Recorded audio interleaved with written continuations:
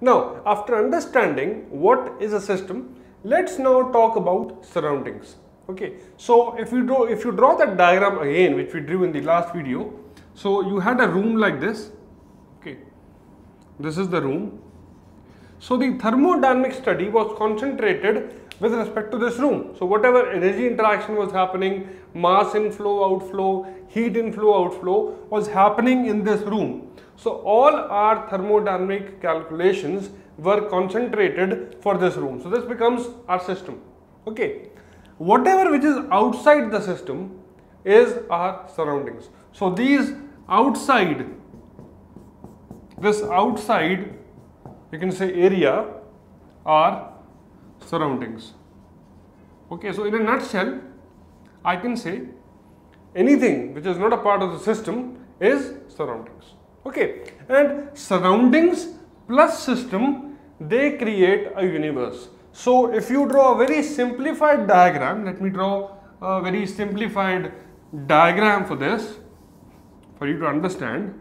Okay, so if this big box is the universe the entire thing in this universe this is the universe okay let me carve out a certain area for some thermodynamic observations so this arbitrary shape or this arbitrary area which is now you know uh, an, an area of focus for my thermodynamic calculations becomes the thermodynamic system whatever which is not a part of the system but is a part of the universe becomes our surroundings. So this is the surrounding that we have.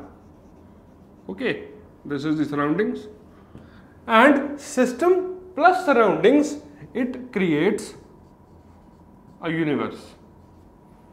Alright, now a very very important point to note down over here. There is something which is separating a system and a surrounding that separating line or, or you can say that separating entity I would not call it a line sometimes it's not a line it's a it's a curve or some arbitrary shape so that separation or that separating entity of system and surroundings is called the boundary so this becomes the system boundary because you can see that this arbitrary shape which is enclosing the system which is enclosing the system is separating the system from the surroundings. Okay, so that enclosed or that enclosure becomes the boundary of the system. Okay, so this is a very very important concept that you need to understand and most of our thermodynamic uh, you can say occurrences or the thermodynamic phenomena would be visible on the boundary.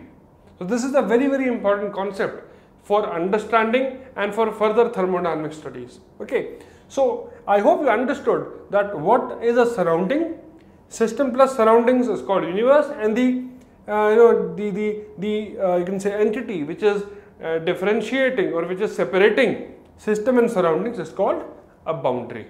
Okay. Now in the next video we discuss about the different kind of systems.